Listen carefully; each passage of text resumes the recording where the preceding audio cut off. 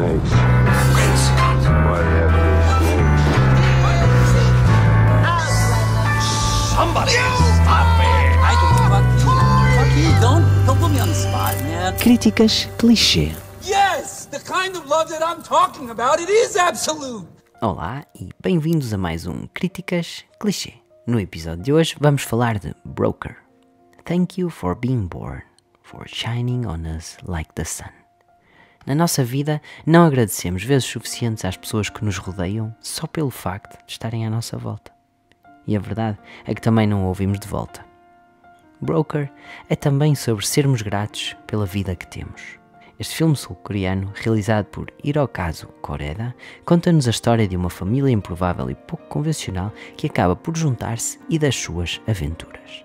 A premissa do filme baseia-se num conceito simples. Quando uma mãe, neste caso, sente que não vai conseguir sustentar o filho recém-nascido, deixa-o à porta de uma igreja para que cuidem dele por si. Mas, no filme, o dono de uma lavandaria, que é voluntário na igreja onde o bebê é deixado, e o seu amigo, que também lá trabalha, decidem roubar o bebê para o venderem ilegalmente. Mas que grande confusão!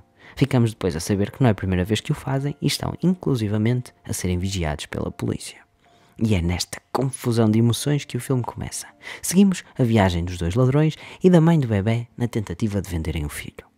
Aqui, ninguém é retratado como um vilão. Colocam-nos ao inverso em todas as diferentes perspectivas de quem vende, quem compra, quem os investiga e deixam-nos, a nós, espectador, a possibilidade de interpretação e introspeção sobre o que faríamos nós se estivéssemos naquela situação. Eu cá não faço ideia do que é que eu faria. Aqui, uma ovação ao realizador que consegue pôr-nos na pele de cada um dos personagens e fazer-nos entender que na vida nada é 100% certo ou 100% errado. Por vezes, existem pequenas nuances que nos fazem tomar opções e que podem parecer certas ou erradas aos olhos dos outros. Song Kang-ho, que reconhecemos de Parasitas, não sei se é assim que se diz o nome do ator, é um dos atores principais e está brilhante. Lidera um conjunto de atores incríveis que nos conseguem fazer passar por várias emoções ao longo do filme.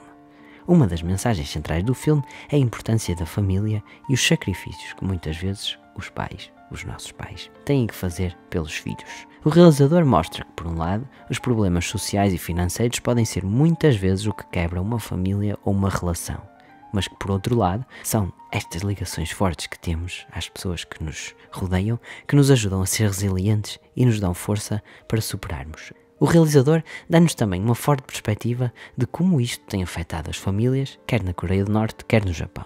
E isto acontece porque nos situa nos espaços de uma forma verdadeira. Para isto contribui a espetacular cinematografia do filme, tudo parece real, não parece um filme. Até os, os, pequenos movimentos da câmera que nos aproximam ou afastam das personagens e tudo de acordo com a emoção que o realizador pretende uh, passar. Cria uma atmosfera de introspeção e ao mesmo tempo de, de contemplação para nos identificarmos cada vez mais com os personagens à medida que a história vai avançando. Broker é, na minha opinião, um filme poderoso e emotivo que não conta uma, mas várias histórias com as quais nos podemos identificar e fala de uma forma tão bonita que não conseguimos sentir-nos indiferentes. E também para isto contribui em muito a banda sonora incrível de Jung Jae-il, que adiciona muitas mais camadas à história que estamos a ver. Não tem muita instrumentação, mas tem o coração no sítio. E vocês já sabem, é disso que eu gosto. O compositor eleva o filme a um outro patamar, que o transcende da tela de cinema. Concluindo, Broker é um filme que consegue explorar várias narrativas e temas, sempre com a premissa de que a família e as relações que temos são o que mais nos ajuda a superar os problemas e adversidades que nos vão acontecendo ao longo da vida. É um filme que nos faz sentir compaixão, mas acima de tudo que nos faz refletir sobre as decisões que tomamos e como julgamos as decisões dos outros sem nos pormos realmente na sua perspectiva.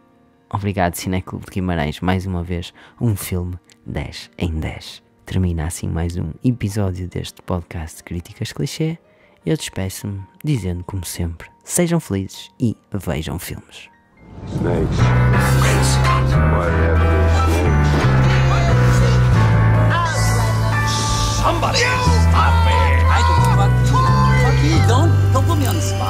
Críticas Clichê.